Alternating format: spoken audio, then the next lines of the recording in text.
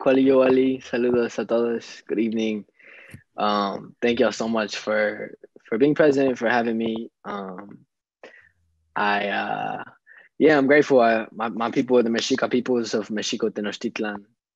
Um, our nation is on the southern side of, of a human-made border um, between the United States and Mexico, and um, yeah, I just want to give a shout out to the organizers, um, all the youth doing incredible work that have helped you know make events like this possible, and yeah, it's really just the people that are on the ground doing this work every single day. Um, and I think I've I've been a part of of the climate movement and in these spaces for a long time. Um, and at the same time, like none of this would be possible. The the the momentum that we are seeing of of young people taking to the streets at such a global level to demand um, justice for for our communities, for our people, for our climate, for our for our black kin, for our indigenous kin.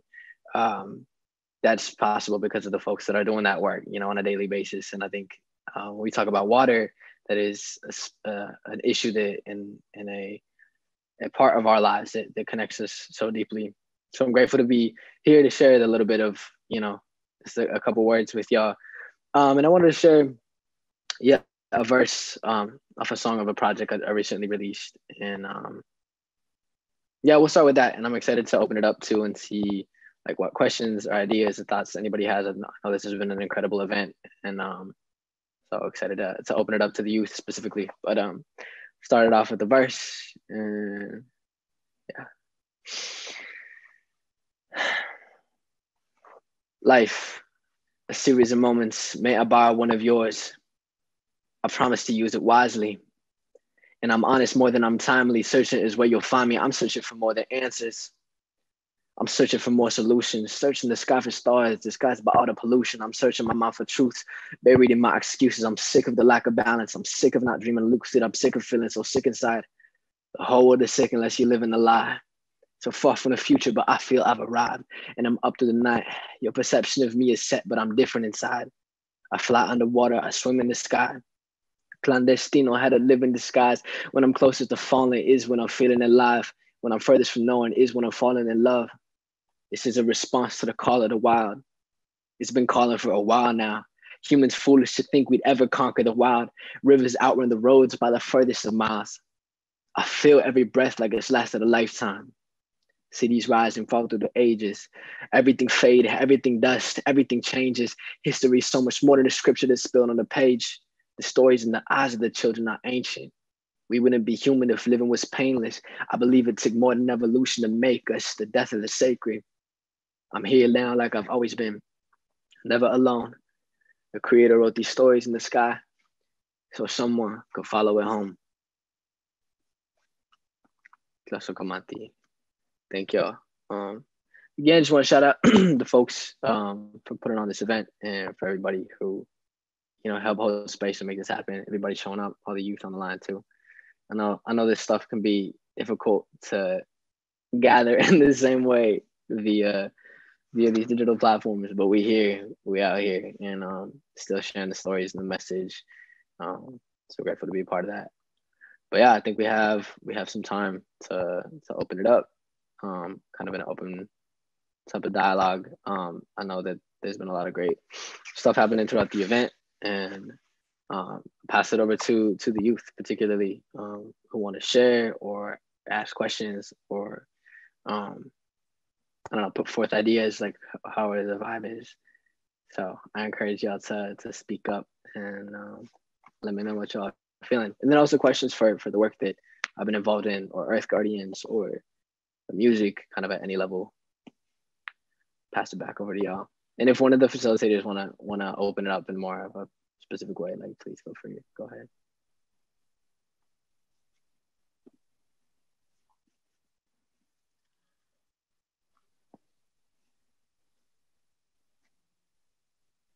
Ooh, yeah. Thank you. Thank you so much for that. That was really beautiful. I think we just had a question drop in our chat box about what um, what the Earth Guardians goals has been this past year. Um, mm-hmm. And if you could speak yeah. to that, maybe speak to how how uh, things have shifted through COVID times and whatnot.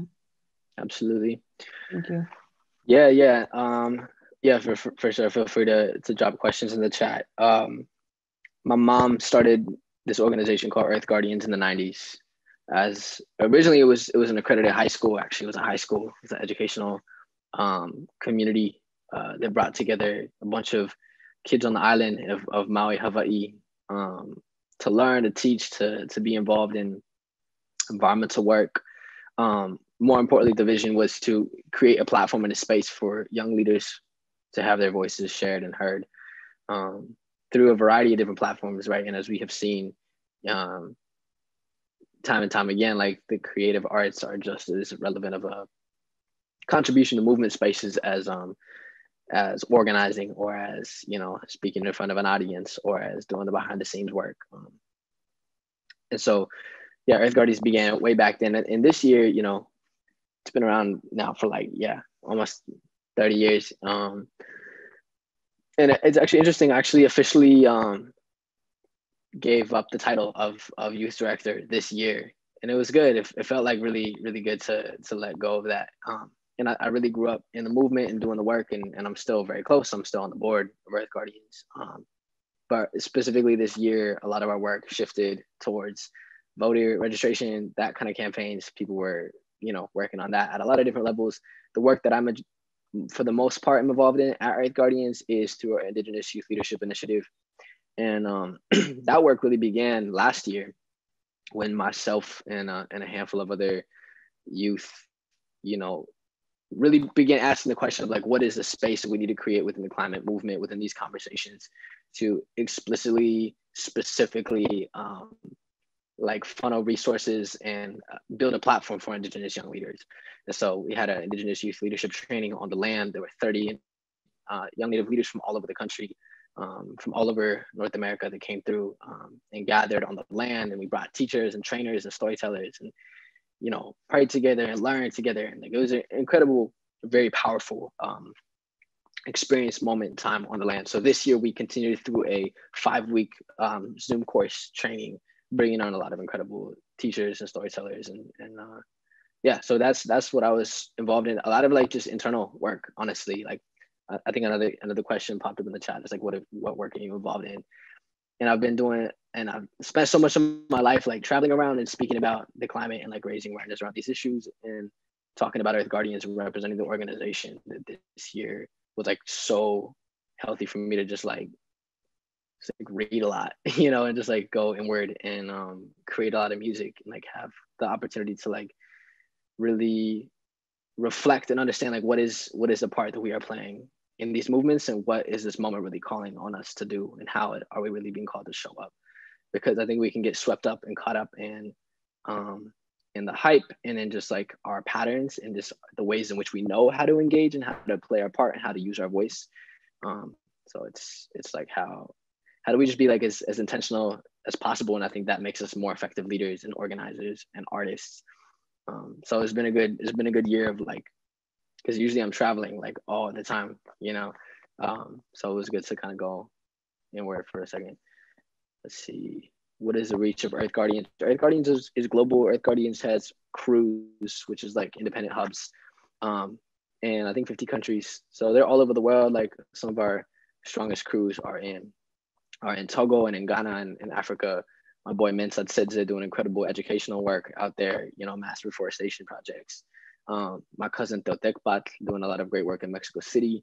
Um, but yeah, we have Earth Guardian crews all over the world, and, and uh, that work continues to to deepen. Like we're we're trying to kind of deepen those partnerships and those connections with all of these inspired young leaders we have all over the place.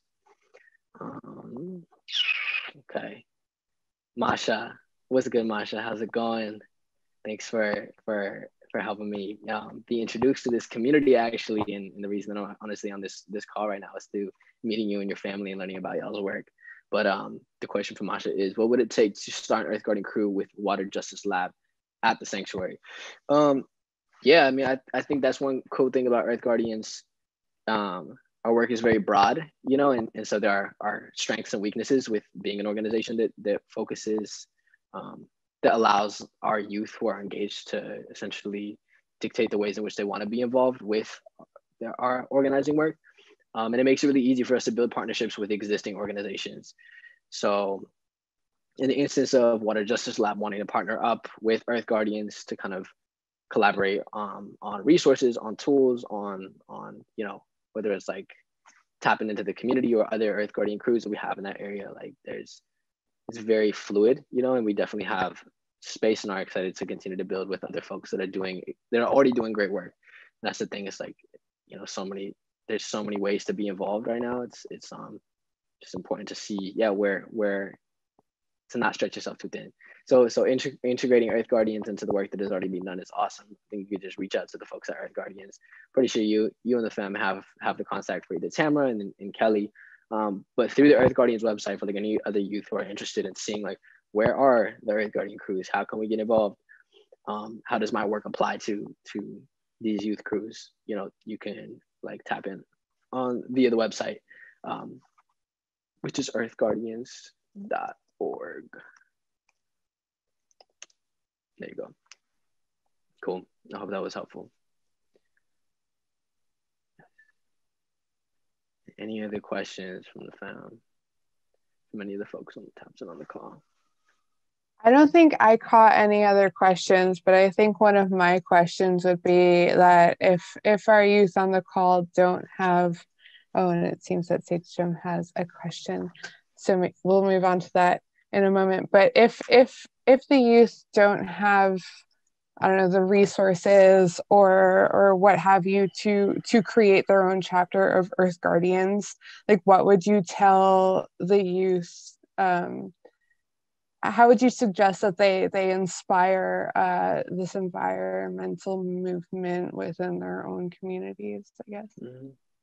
Yeah, no, that's a good question. I think um, environmental work so oftentimes gets placed in a very specific with a specific connotation in a specific box um, when in reality like we are whether we live in an urban environment or in the forest or by the ocean like we are constantly engaging with with the world around us um, whether that's just community work or you know and i think um yeah for us it's important to broaden our understanding of of i think climate and the climate crisis and climate justice allows us to have deeper conversations about the things that we oftentimes simplify, you know, through um, the way that the climate conversation and the environmental conversation is portrayed in, in media and even by big environmental organizations. Um, but it really like your community and the way that you interact with your family and those around you, like those are issues that are pertinent and like important and relevant to um, these conversations around like the environment, right? Because um, it's so much bigger than just regulations on fossil fuel extraction and exploitation and alternative energy sources. It's like how do we actually build thriving communities, you know? And so I think there's a lot of conversation this year that has come up around police abolition and really looking at police violence and white supremacy and how those issues are like deeply rooted in our culture. If you look at the climate crisis, like the same extractive industry that profits off of destroying indigenous land and poisoning indigenous peoples and marginalized communities that have their homes built right next to coal-fired power plants or who have fracking wells right next to their homes like in colorado where i'm from like those same industries that same you know way that that system is set up is is is very parallel to the exploitation and, and the the commodification and, and the violence towards our black kin and our black relatives. Um, and those those issues of policing and how we invest our money so heavily in, in the police state you know i think is really reflective of, of what our environments look like you know. And uh, and so i think regardless of who you are where you're from what your community looks like you know i think uh, some good ways to start in getting involved in this conversation in this work in this movement is to like start to see how your community interacts how you interact with your community and how your community is interacting with the world. And i just like encourage folks to like read and to like inform themselves. Um, there's a lot of resources everywhere, whether it's environmental documentaries, podcasts, like audio books, you know, like whatever it is, like meme pages that be having hella like, TikTok accounts to be talking about capitalism and like all like whatever it is, like whatever interests you. Like there are ways in which you can absorb through those platforms.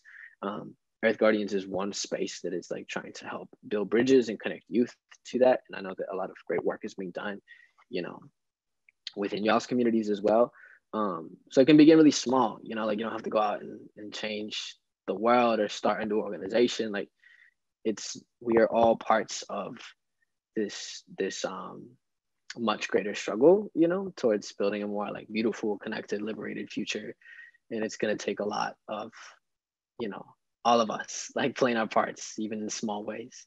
Um, and yeah, so information. And also, I would really say like building relationships with folks, like with other people that believe in some of the same things or have the similar questions and curiosities as you you know and we don't always have that at school. We don't always have that within our families. Like oftentimes we disagree a lot with our families whether it's their politics or their how they view certain things. And especially sometimes with our elders too that you know um, there are barriers intergenerationally like that. So like try to build reach out and build those friendships with other folks in your community. Social media has made it so easy to connect with other people that um, you know belong in these same communities or, or these same ideas believe in these same ideas.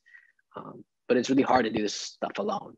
You know like this event didn't happen this work doesn't get done because people go off and try to do it by themselves. Like it gets done because people want to build together to broaden our understanding of, of what building a future together looks like. See another question. It says what can youth what can youth and environmental organizers do to expand this critical conversation between climate change and environmental racism? For sure. Um, there's there's a lot that can be done and i think it's i think one thing that definitely should be done is like we should um, it's really valuable for organizers in the environmental and the climate space to just like understand the history of other movements and the current like the the contemporary history of other movements. Like we're seeing the largest, you know, organizing force in, in the history of this country being around the protection and defense of Black lives. And like that has like really happened this year during a pandemic. Like we're seeing some of the greatest social movements in our history. Um, and things are are, you know, a lot of uphill battles like are ahead of us, but at the same time, a lot of progress is being made and a lot of important conversations are like being brought to the surface and to the forefront of like our collective consciousness. Um, so i think in understanding you know the ways in which your organizing and your work intersects with the communities around you specifically specifically i think black and indigenous communities. And i think you know for example like whose land are you on? That's like the easiest first step that any of us can take. Whose land are you occupying right now? Um, and there's an app that anybody can download on basically I think any kind of phone called Native Land, and it shows you like who's traditional territories and has links and resources to connect with those folks, um, and really understanding how these struggles of water, you know, through an, a very environmentalist lens, oftentimes excludes indigenous voices and indigenous water protectors and indigenous people who don't you know view these resources with a sense of ownership you know in a lot of cases um, who are left out and excluded and pushed away from having access to this sacred, you know, element. Um, or, you know, in Black communities, like whether it's Flint, Michigan, or, you know, Newark, you know, that are experiencing massive amounts of um, inequity and lack of access to clean drinking water. And that just is a part of life for a lot of, you know, Black and Brown and Indigenous communities, impoverished communities. And you start to realize and see that like these conversations are so connected and you can't really effectively have a holistic conversation about environmental issues unless you're really understanding like the like the undercurrent of of like racial injustice and like exploitation of of the working class you know of people in this country. Um, so I, I think it comes with conversations. It comes with reaching out to other organizations. It comes with learning whose land you're on and how your environmental issues that you're talking about who is already doing that work and organizing and not getting attention for it. Like a lot of indigenous peoples and indigenous communities who've been doing the work for generations, who've been getting removed off their land for generations, displaced, you know, had their water poisoned. Like, so I think it's a it's a lot of work and it's like a lot of internal like reflection and like, am I you have to constantly be asking yourself, like, am I doing this in the best way? And it's okay because it's not about like expecting yourself to perfectly off the bat be doing it, but like how can we always strive to do better work in a in a more I don't know, inclusive is such a weird word, and, just a way that is more conscientious of our relatives and of those around us, you know, and of the land that we stand upon and the other movements whose shoulders we stand upon to do our work. Um, and that's that's that's all important. So I think growing your awareness around that is really important. Listen, read books written by Black and Indigenous authors, listen to podcasts, and read news that is you know told from an Indigenous and a Black and a frontlines perspective, from a working class perspective, and I think that can help broaden your understanding. And it's again, it's not overnight. It's like this work is is life work, you know, especially for non-black folks and non-indigenous folks. And um, so yeah. It's it's a it's a beautiful journey though to to be in in greater relation and in better solidarity with our with our kin. Absolutely. Hey brother, it's good to see you here. Um, I just wanted to uh I, something was brought up earlier, and I know that you've been doing this for a very long time, and and I think that you have some pretty good insight on this. Uh, but we were talking about um, like activism, and then also the trauma that comes along with it. And I know you've been doing this since you were five, and I know that um, we had talked. I think we were down in D.C. and you were going through some really hard hard times at that point what would you talk to the youth about how you deal and i know you answered some of this in, in what you've been talking about with with community building and and all of this but um, what would you tell the youth on how to deal with the trauma that comes along with this work for sure yeah no that's a, that's a good question um, and i think yeah it's, it's different for everyone in how you experience organizing and the ways in which you experience organizing. And i think some of the hardest wake up calls for me and the biggest moments of growth have been when i like look back on how i've been doing things and how i've been interacting whether it's with the public or with my own image or and being like i'm not doing this right. Or like i actually grew up learning a lot of things about how i saw the world and the limitations that through my environment were placed on my perception of things and like really unhappy with how how I've operated and how I've moved and how I feel like I've let a lot of people down. And I have, and you know, I'm really hard on myself too, and I'm definitely a perfectionist. But at the same time, it's like this this is tough. There's a lot of pressure from a lot of directions, and just the work is heavy in itself. That we are existing at a moment in time where our our our existence as human beings on this planet is, is up for debate. You know, um, and whether or not we prioritize doing everything in our power to preserve and protect our land, our communities, our water, that's like up for debate. And, and oftentimes feel like it's, it's so far out of reach and out of our hands. Um, so regardless of what your experiences or how you're getting involved or what ways and you're tapping the movement, there's, there's challenges along the way. And I would say that um, it's so important, yes, to build community and just to like, you know, do do as much as you can just from like a really like really check in with yourself as you do this work and be like are you really doing this you know for the right reasons? And and have you taken time to like ask those questions and identify like what you're doing this for? And maybe it's and the answers can be simple you know and and um our motivations change and like we adapt and grow and learn new things. And um but ultimately i think just to being really grounded in your purpose and finding that is also really hard too. So like don't put too much pressure on yourself in that way. But um i'd say like the the most help that i've had is is when i say these things is i mean is like am i really engaging in this work in a way that is is meaningful and feels like i'm i'm doing my work as being who i am and doing what i love and expressing myself in the way that i know that i'm here to do like am i doing that um, and it's not always the case, you know, and sometimes you just gotta like do hard stuff that isn't in alignment with like what feels really great. And at the same time, um, yeah, being true to yourself and like that sounds corny, it really does. Like, but I, but I've just like learned that, you know, you you have to like ask yourself and, and just be in touch with that. And like I've yeah, I've just like not done that for such a long time in a lot of ways. So um, I encourage you to like have people in your life that will check you and be like, yo, what are you doing right now?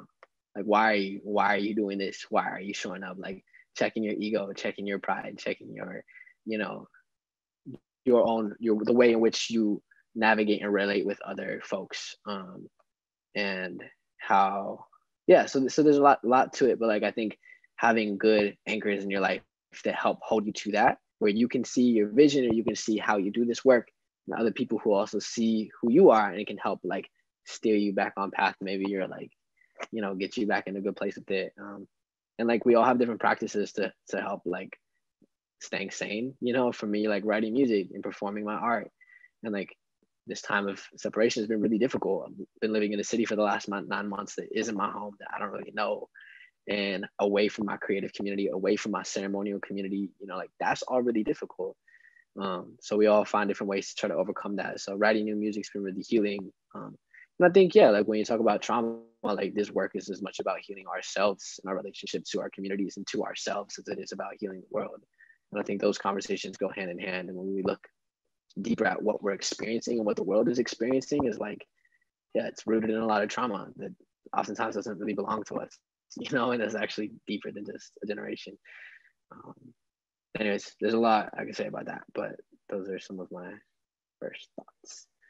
Um, think we got time for maybe like one more question. Cool. Just curious. Okay, Robert. What's up, Robert? Just curious about the story of how your mom inspired and encouraged you.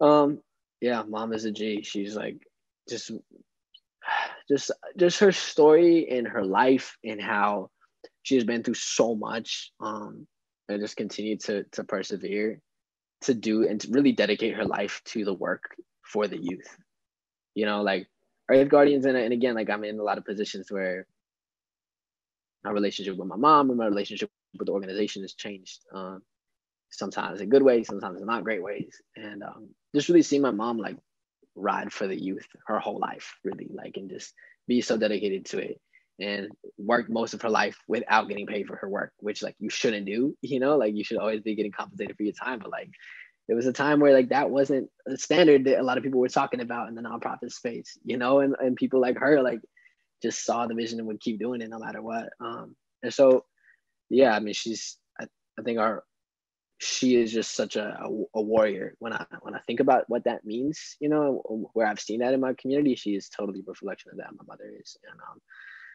I'm really lucky. I feel to have such a strong mom, and like that's why I am who I am and uh, at the same time, I think I've gotten to a really good place where we're we're learning from each other. You know, like I feel like I have just as much to teach her as I leave the nest. Like this is my first year of life, not like really living at home. And I travel all the time, so I always kind of come and go. But like this is my first year of life, like having left the nest and like so it's a it's a new relationship for us. But anyways, mom, like yeah, our mothers and and mother figures, you know, folks in our life that sometimes play both roles, both parental roles. Like, however it is, you know, that's such a sacred like connection. And and when we talk about this work for the earth, you know, those are relationships that are important to think about and, and honor. And so I'm I'm just really lucky and grateful to have had that. Um, yeah, thank you all for for your time for for these wonderful questions. Um, and I wish you all like the best with all this, with building this community, with continuing to do your part and um, artists, storytellers, songwriters, performers, folks that are just really good at organizing stuff on Google Docs. Like y'all all are doing it. Like and have your part to play for real. And that's the only way we're gonna get through this. So send my love to, to each and every one of you. And uh, Tlazocamati. Thank you for being present for for having me.